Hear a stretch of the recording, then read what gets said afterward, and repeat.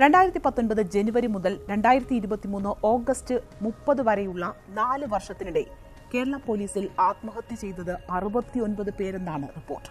നമ്മളെല്ലാവരും ഏറ്റവും കൂടുതൽ കേട്ടിട്ടുള്ള ആത്മഹത്യയായിരിക്കും കർഷക ആത്മഹത്യ എന്ന് പറയുന്നത്. പക്ഷേ ഈ വരുന്ന സാഹചര്യത്തിൽ നമ്മളിപ്പോൾ ഏറ്റവും കൂടുതൽ കേട്ടുകൊണ്ടിരിക്കുന്നത് പോലീസിലെ ആത്മഹത്യകളെക്കുറിച്ചാണ് കാരണമൊന്നുമല്ല കടുത്ത മാനസിക സമ്മർദ്ദം. വിഷാദരോഗം കാരണമാണ് കൂടുതൽ പേരും ആത്മഹത്യ ചെയ്തതെന്ന് കണക്കുകൾ വ്യക്തമാക്കുന്നു. ഇപ്പോൾ ഈ വാർത്ത പ്രചരിക്കാനുള്ള കാരണവും രണ്ട് ദിവസം മുമ്പ് മുഖ്യമന്ത്രി ഇതിനെക്കുറിച്ച് എടുത്തു പറയുകയുണ്ടായി. നമുക്ക് എന്തായാലും മുഖ്യമന്ത്രി പറഞ്ഞ വാക്കുകളിലേക്ക് ഒന്ന് പോകാം. പോലീസിൽ അമിത ജോലിയുടെ ഭാഗമായിട്ടല്ല വരുന്നത്. അതിൽ പോലീസിന് പോലീസിന്റേതായ ഡ്യൂട്ടികൾ നിർവഹിക്കാൻ ഉണ്ടല്ലോ. അതിന്റെ ഭാഗമായി വരുന്ന പ്രശ്നങ്ങൾ അവരെ ബാധിക്കുന്നുണ്ടോ? അത് ഗൗരവമായിട്ട് പരിശോധിക്കുന്നത് തന്നെയാണ് സ്വീകരിച്ചു പോകുന്നത്. അത് പരിശോധനയിൽ അതിന്റെ ഭാഗമായിട്ടല്ല കാര്യങ്ങൾ കണ്ടത്. മറ്റ് ചില പ്രശ്നങ്ങൾ കൂടി അതിന്റെ ഭാഗമായിട്ടുണ്ട്. എന്നാൽ ഗൗരവമായിട്ട് തന്നെ സർക്കാർ അത്തരം കാര്യങ്ങൾ കാണുക അത് കാണേണ്ടത് പോലീസിൽ വല്ലാത്ത ജോലിഭാരം എന്നത് ഒരു വല്ലാതെ പെരുപ്പിച്ച് നമ്മൾ കാണേണ്ടതായിട്ടില്ല. എന്നാൽ ജോലിഭാരം ഉണ്ട് എന്നുള്ളത് എല്ലാവർക്കും അറിയിക്കുക. അതാണ് കാണുന്നത് ഇതിൽ നിന്ന് അദ്ദേഹത്തിന് തന്നെ അറിയാം ജോലിഭാരം അമിതമാണെന്ന്. അദ്ദേഹം തന്നെ പറഞ്ഞു വരുന്നുണ്ട്. പക്ഷേ അതിനെ അദ്ദേഹം അത്ര പെരുപ്പിച്ച് കാണേണ്ടതാണ് പറയുന്നത്.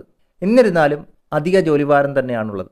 ജോലി സാഹചര്യം സഹിക്കാനാവാതെ കേരള പോലീസിൽ ജോലി ഉപേക്ഷിച്ച് പോകുന്നവരുടെ എണ്ണം കൂടുന്നു. അതുപോലെ തന്നെ കേരള പോലീസിൽ നിന്നും കൂടുതൽ പേരും ജോലി ഉപേക്ഷിച്ച് പോകുന്ന അവസ്ഥയാണ് കാണുന്നത്.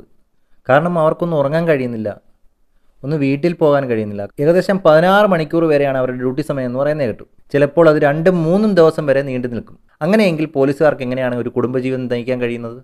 ഇതിലെ എന്റെ സുഹൃത്തുക്കളായ ചില പോലീസ് ഉദ്യോഗസ്ഥർ പറയുന്നത് ഒരു ആറ് മണിക്കൂറെങ്കിലും അവർക്കൊന്ന് ഉറങ്ങാൻ കിട്ടിയിരുന്നെങ്കിൽ മതിയായിരുന്നു എന്ന് വരെ പറയുന്ന കൂട്ടുകാർ നമ്മുടെ ഇടയിൽ തന്നെ ഉണ്ട്. ഇതിൽ നിന്ന് തന്നെ നമുക്ക് എന്ത് പറയാം? അവർക്ക് നന്നായിട്ടൊന്നും ഉറങ്ങാൻ കഴിയുന്നില്ല. അവർക്കൊന്നും വീട്ടിൽ പോകാൻ കഴിയുന്നില്ല. ഇതിനെ തുടർന്ന് എന്തായാലും മാനസികമായിട്ടുള്ള അസ്വസ്ഥതകൾ ഉണ്ടാവും. ഡിപ്രഷൻ പോലുള്ള പല രോഗങ്ങളും അവരെ തേടിയെത്തും. ഇങ്ങനെയുള്ള അവസ്ഥകളിൽ അവർക്ക് ഒരു ശരിയായ തീരുമാനം എടുക്കാൻ തന്നെ കഴിയുമോ എന്ന് തന്നെ സംശയിക്കേണ്ടിയിരിക്കുന്നു. മനുഷ്യന്റെ മാനസിക സ്ഥിതി മോശമാവുന്ന അവസ്ഥയിൽ നമുക്ക് ഒരിക്കലും നല്ല തീരുമാനം എടുക്കാൻ കഴിയത്തില്ല. അത് അവരുടെ കുടുംബജീവിതത്തെയും പല ഡിസിഷൻ മേക്കിങ്ങിനെയും ബാധിച്ചെന്ന് തന്നെ വരാം. അവരെടുക്കുന്ന പല കാര്യങ്ങളും തെറ്റായി ഭാവിക്കുകയും ചെയ്യുന്നതായിരിക്കും. ഇതൊക്കെ തന്നെ ആയിരിക്കാൻ അവരെ ആത്മഹത്യയിലേക്ക് നയിക്കുന്നതും. രണ്ടായിരത്തി പത്തൊൻപതിൽ പതിനെട്ട് പേർ രണ്ടായിരത്തി ഇരുപതിൽ പത്ത് പേർ രണ്ടായിരത്തി ഇരുപത്തിയൊന്നിൽ എട്ട് പേർ രണ്ടായിരത്തി ഇരുപത്തിരണ്ടായപ്പോൾ അത് ഇരുപതായി ഉയർന്നു. രണ്ടായിരത്തി ഇരുപത്തിമൂന്നിൽ പതിമൂന്ന് പേർ എന്നിങ്ങനെയാണ് ആത്മഹത്യ ചെയ്തവരുടെ ഒടുവിലത്തെ എണ്ണം. തിരുവനന്തപുരം റൂറലിലാണ് ഏറ്റവും കൂടുതൽ ആത്മഹത്യ. പത്ത് പേർ. രണ്ടാമത് ആലപ്പുഴയും എറണാകുളം റൂറലും. ഏഴ് പേർ വീതം. അതുപോലെ തന്നെ ഉയർന്ന ഉദ്യോഗസ്ഥരുടെ സമ്മർദ്ദം എന്നിവയെല്ലാം അവരെ കാര്യമായിട്ട് ബാധിക്കുന്നുണ്ട്.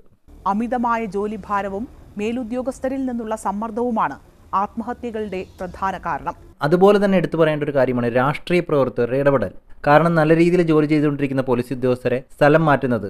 ഇതൊക്കെ അവരുടെ മനസ്സിൽ മാനസിക സംഘർഷം ഉളവാക്കുന്നതാണ് ഇതേസമയം തന്നെ ചില മേലുദ്യോഗസ്ഥന്മാർ കീഴുദ്യോഗസ്ഥരുടെ അടുത്ത് സംസാരിക്കുന്ന രീതി തന്നെ വളരെ മോശമായിട്ടാണ്. അറപ്പുളവാക്കുന്ന രീതിയിലാണ് സംസാരിക്കുന്നതാണ് പൊതുവെ ഒരു കേട്ടുകേൾവി. ചില മുതിർന്ന ഉദ്യോഗസ്ഥർ കീഴുദ്യോഗസ്ഥരോട് സംസാരിക്കുന്നത് കേട്ടാൽ അറയ്ക്കുമെന്നാണ് അണിയറ വർത്താനം. കുറ്റാന്വേഷണത്തിൽ മികവ് തെളിയിച്ച മിക്ക ഉദ്യോഗസ്ഥരെയും രാഷ്ട്രീയ കാരണങ്ങളാൽ ക്രമസമാധാന ചുമതലകളിൽ നിന്ന് മറ്റു തസ്തികകളിലേക്ക് മാറ്റിയതും കേസന്വേഷണങ്ങളെ ബാധിക്കുന്നു. ഇതേ സാഹചര്യത്തിൽ തന്നെ ഒരു കാര്യം കൂടി ഓർമ്മിപ്പിക്കുകയാണ്.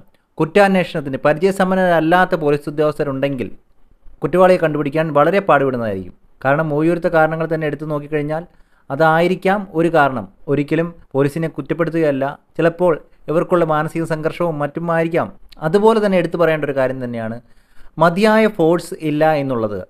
കാരണം കേരളത്തിലെ മിക്ക പോലീസ് സ്റ്റേഷനിലും അമ്പതിൽ താഴെ മാത്രമേ പോലീസുകാരുള്ളൂ. അത് തന്നെ പോലീസിന് മേൽ അമിതമായ ഭാരം അടിച്ചേൽപ്പിക്കുന്നതാണ്. കാരണം അവർ രണ്ട് ദിവസവും മൂന്ന് ദിവസവും ഡ്യൂട്ടി ചെയ്യേണ്ട ആവശ്യകത വന്നു പോകുന്നു.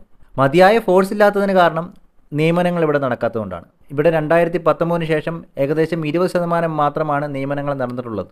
ബാക്കി ഒഴിവുള്ള പോസ്റ്റിലേക്ക് നിയമനങ്ങൾ നടന്നില്ല എന്നാണ് റിപ്പോർട്ടുകൾ പലതും പറയുന്നത്.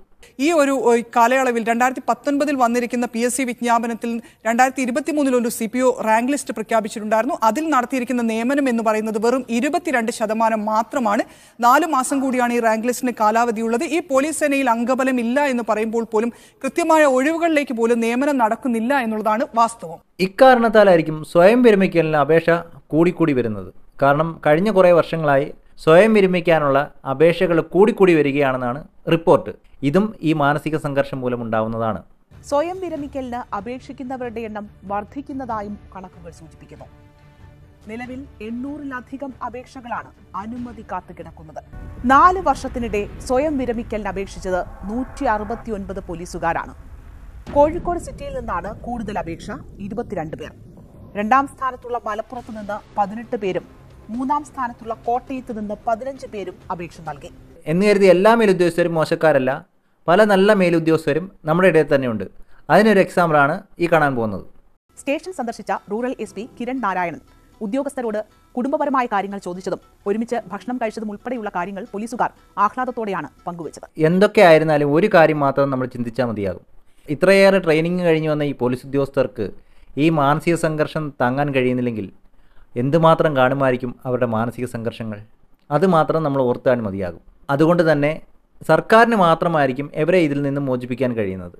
ഡ്യൂട്ടി സമയം ക്രമപ്പെടുത്തുക മതിയായ ഇളവുകൾ നൽകുക അതുപോലെ തന്നെ നിയമനങ്ങൾ നടത്തുക എന്നിവയൊക്കെ ചെയ്തു കഴിഞ്ഞാൽ തന്നെ അവരുടെ മാനസിക സംഘർഷങ്ങൾ ഏറെ കുറയുന്നതായിരിക്കും.